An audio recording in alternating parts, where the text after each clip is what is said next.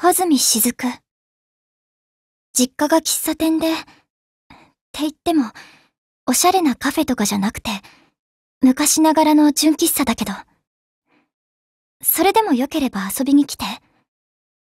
私もお店に出てるから。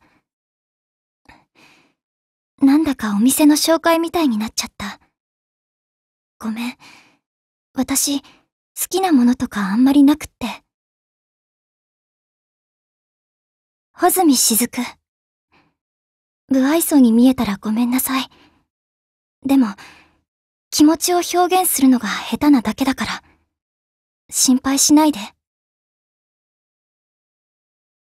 求める場所にたどり着くために、私は強くならなきゃいけない。怖がらずにどこへだって行ける。だって、帰る場所があるんだから。霧が晴れたみたいな気分。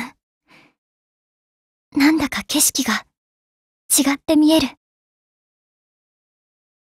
私は未来の私を早く見つけてあげなきゃいけないの。私がさまよっているうちは未来の私も迷子のままだから。熱中できる何かじゃなくても大切な誰かを思う気持ちもまた未来への道しるべになるのかな？どんな道を選ぼうと、大切な人を思う気持ちに変わりはない。そう思ったら少しだけ、未来の私が見えた気がする。うん。力を感じる。もっと、遠くまで行けそうな気がする。人はみんな、大切な誰かの中に自分の居場所を見つけるのかな？いつかまた私の中に居場所を見つけてくれる人ができたらいいな。こういう風に思うことも将来の夢って言えるのかもしれない。私の居場所はここなんだって、そう思ってもいいのかな？まだまだ不安な気持ちは拭えないけど。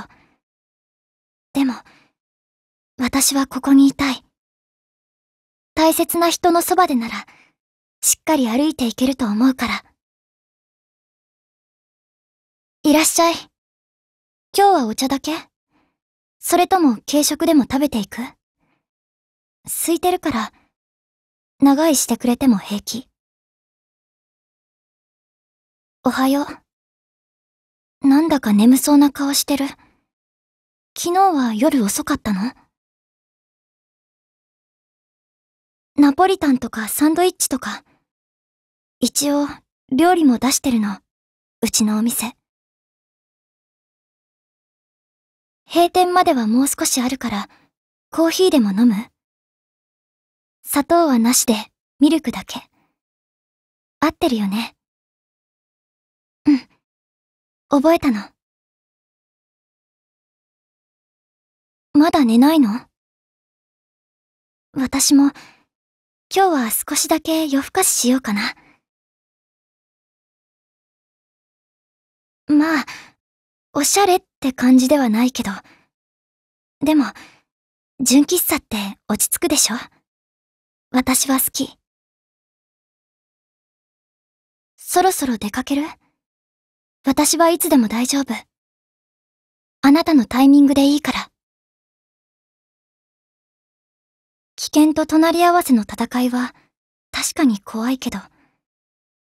でも、目指すもののためにも、引くわけにはいかないから。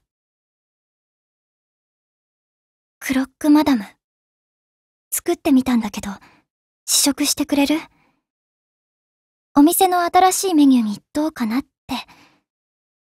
ちょっとおしゃれすぎるかな？